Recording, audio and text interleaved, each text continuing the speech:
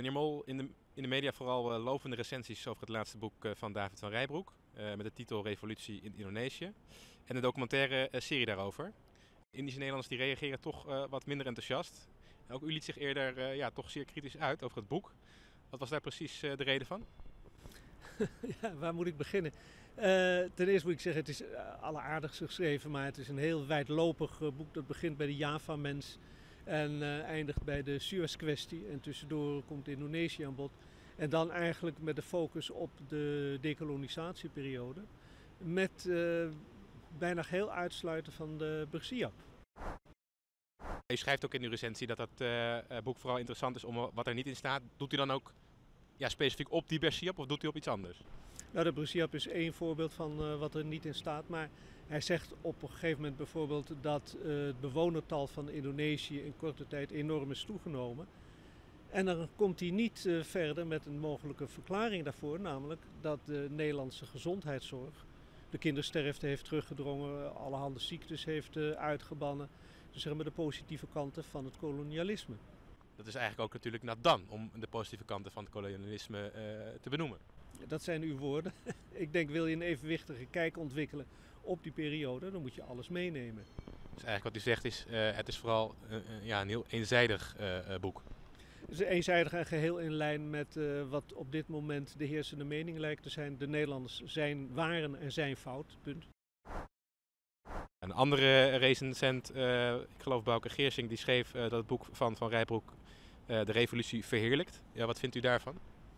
Ja, ik, uh, hij schrijft het natuurlijk nergens met zoveel uh, woorden van uh, een geweldige revolutie, maar hij begrijpt mensen volkomen. Er is geen kritisch woord die hij vrijheidsstrijders tussen aanhalingstekens stelt. Als je pretendeert een historicus te zijn, dan wil je alle kanten aan het woord laten.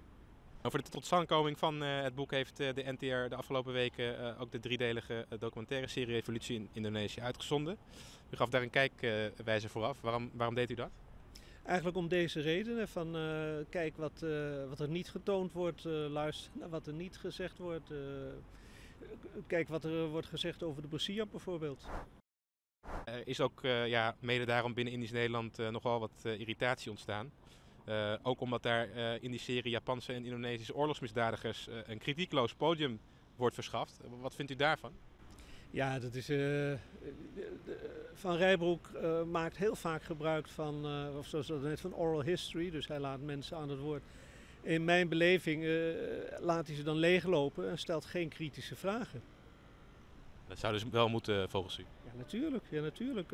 als iemand het heeft over bamboe, een bamboeroentjing, een, een bamboespeer, en hij zegt dat hij daarmee heeft gevochten, wat bedoelt zo'n man? Uh, heeft hij gevochten met andere jongens met bamboesperen? Of heeft hij daadwerkelijk zijn speer in iemand gestoken? Hij stelt die vragen niet. Uh, aan de andere kant uh, wordt ook de Bershop, u zei het zelf al, grotendeels verzwegen in de serie. U noemde dat eerder een pijnlijke misser. waarom vindt u dat eigenlijk? Zonder de Bersiap is het hoogst onwaarschijnlijk dat Nederland zoveel militairen had moeten sturen. De Bersiap is een ander woord eigenlijk voor uh, wanorde en chaos en moordpartij. Als die er niet waren geweest, ja, dan uh, was die hele dekolonisatie anders verlopen. En minder bloedig dus. Totaal besteedt uh, Van Rijbroek een kleine 40 seconden aan de Bersiap. in de documentaire van in totaal 151 minuten over de dekolonisatie van voormalig Nederlands-Indië. En dat is dus minder dan nou ja, bijna een half procent van het totale materiaal. hoe geloofwaardig is een serie eigenlijk over de dekolonisatie van Indië of de revolutie van Indonesië, waarin uh, aan zo'n cruciale episode zo weinig aandacht wordt uh, besteed. Ja, het interesseert hem de rozen en dat betekent ook dat het uh, zijn hele insteek ja, eigenlijk waardeloos is, in mijn ogen dan. In die 40 seconden doet Van Rijbroek slechts suggesties en bezigt hij verbloemend taalgebruik. Hij zegt niets over wat er tijdens de Bershop is gebeurd, wie de daders waren, eh, hoe de martel- en verkrachtings- en moordpartijen plaatsvonden, hoeveel slachtoffers er daarbij zijn gevallen. Uh, en dat Indonesië natuurlijk deze misdaden tegen de menselijkheid tot op de dag van vandaag ontkent of bagatelliseert of nou. Um, en dat daarvoor natuurlijk nooit Indonesiërs zijn opgespoord, vervolgd of berecht. kan dit eigenlijk wel? In mijn optiek kan dat niet. Zou je inderdaad, wil je een evenwichtige geschiedschrijving en in het verlengde daarvan ook tot uh, evenwichtige morele veroordelen kunnen komen, zou je, dat, zou je de andere kant op precies dezelfde manier moeten kunnen bekijken. Dus wel uh, naam en toename van mensen die uh, hebben aangestuurd, die misdaden hebben gepleegd, en zouden vervolgd moeten worden. Er zou een groot onderzoek naar moeten kunnen worden gestart. Het gebeurt niet en in Indonesië zal het niet gebeuren, want het kan daar niet gebeuren. In de worden, uh, uh, wordt een Indonesische oorlogsmisdadiger uitgebreid aan het woord gelaten. U refereerde er zelf al aan. Uh, dat is de, ja, die man met die, die het heeft over die bamboe Runchings, die daarmee gevochten heeft. Hij zegt dat ook, dat hij daarmee gevochten heeft. Maar hij ontkent iemand te hebben vermoord.